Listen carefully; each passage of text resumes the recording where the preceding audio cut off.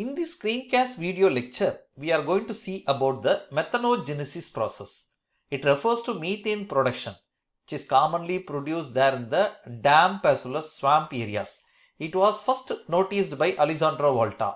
You may remember Volta. Volta is a person who has invented the voltaic cell or galvanic cell. Interestingly, this methane is produced by biological process. In this video's top right hand corner, you can able to see a link of a Volta experiment that have been conducted earlier. You just click that link and see how methane has been produced there in the natural environment. Apart from biological production, it can also be produced using certain chemical process which is referred as a Sabatier process. In this process, carbon dioxide in the presence of reducing molecules such as hydrogen at a very high temperature and pressure with the help of catalysts like ruthenium, alumina as well as nickel, it is converted into methane and water. The same process can be effected there by a special group of archaea called as a methanogens. So this biological methane production is mainly attributed to the archaea present in an environment. Archaea refers to the third domain of life. It consists of some special bacteria which commonly lives in the extremophilic conditions. Here the archaea that is involved in the methane production are commonly referred as a methanogens. They found to possess various kind of C1 carbon carrying enzymes as well as redox enzymes that helps in converting carbon dioxide into methane at a very ambient temperature as it is a biological process it does not require a high temperature or high pressure to combine hydrogen with carbon dioxide to produce methane. Here the carbon could be from different sources that is it can be of a carbon dioxide or else it can come from the other sources that have been listed here. That is, it includes formate, methanol, acetate, methylamine. These are the things which can able to supply carbon for converted to methane. For the total process of this conversion, 8 electrons are required for reduction of carbon into methane. Biological production of methane is referred as methanogenesis process. It can be carried out by metabolically two different kinds of group of organisms. One are referred as a hydrogenotrophic organism. It employs anaerobic chemolithotrophic process in which carbon dioxide is combined with hydrogen and methane will be formed. The other groups refers to the chemoheterotrophic group of organism. They are also referred as a acetoclastic group of bacteria. Mainly in both these group archaea are involved and these organisms are referred as methanogens collectively. Here in the chemoheterotrophic process the carbon is supplied mainly from acetate, methane, methylamine as well as methanol which are further converted into methane in this group of organisms. The reduction of carbon dioxide with hydrogen is a major pathway of methanogenesis and it's a form of anaerobic respiration. The pathway in which the methane is formed is referred as the acetyl-CoA pathway. The methanogenesis comprises of various biochemical reactions that employ different coenzymes for the process. The key coenzymes are divided into two groups. One is a C1 carrier coenzymes that is they are involved in the initial steps of the methanogenesis process mainly to carry the substrate that is carbon dioxide and finally forms the product methane. Whereas the second group that is the redox coenzymes are those that involve in supply of electrons that are required for reduction of carbon dioxide into methane.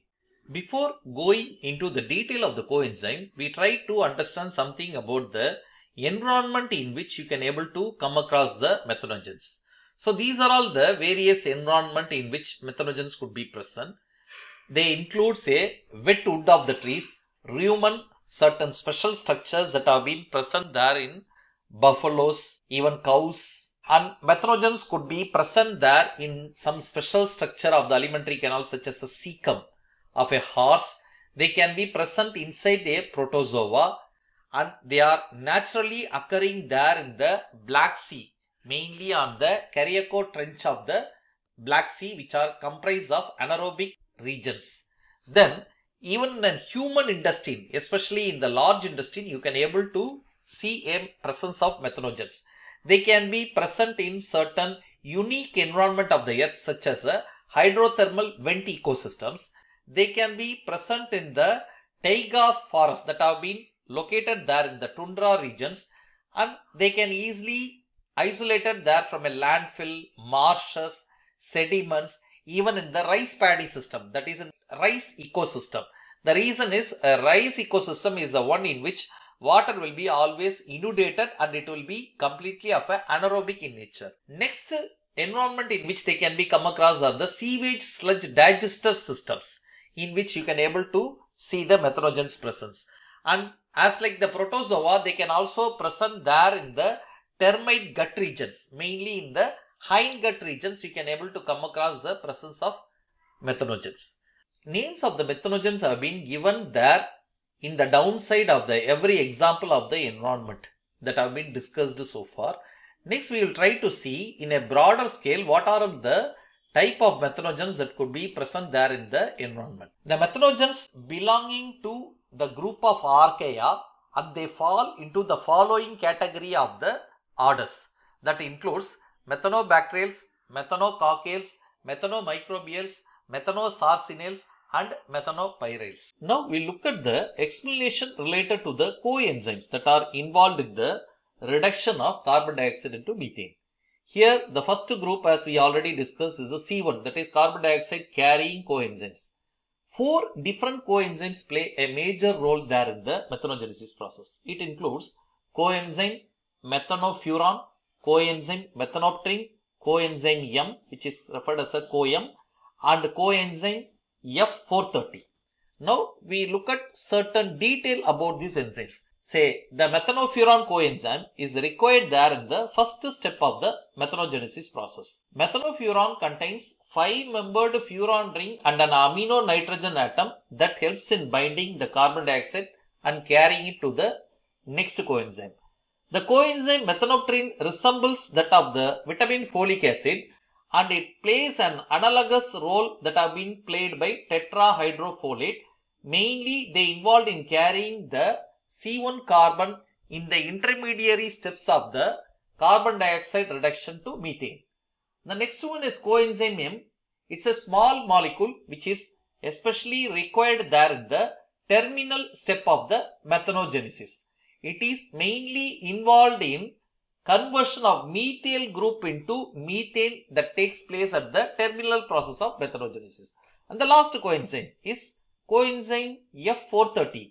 It is basically a cofactor nickel containing tetrapyrrole coenzyme. It is also again needed at the terminal step as a part of methyl reductase enzymes that belongs to class 2 redox coenzymes. This is a complete enzyme complex that is mainly involved in the reduction of carbon dioxide into methane. Next, we try to look at the points related to the redox coenzymes. Two redox coenzymes that is coenzyme F420 and coenzyme B are basically of a 7 mercaptoheptanoyl threonine phosphate containing electron donating coenzymes that have been involved there in the methanogenesis process. First, we try to look at the points related to coenzyme F420. It is a flavin derivative containing enzyme structurally resembling flavin coenzyme FMN that is flavin mononucleotide. It plays a major role in the methanogenesis process as an electron donor in several steps of the carbon dioxide reduction. The oxidized form of coenzyme F20 absorbs the light at a 420 nanometer and it can able to create a fluorescence light of a blue-green color. This is a useful property that helps in the microscopic identification of methanogens from the other anaerobic pathogenic organism that may be located in an environment. Next one points related to coenzyme B. It is required there in the terminal step of methanogenesis. It is catalyzed by methyl reductases coenzyme complexes. It resembles as that of the vitamin pantothenic acid which is a part of acetyl coenzyme A.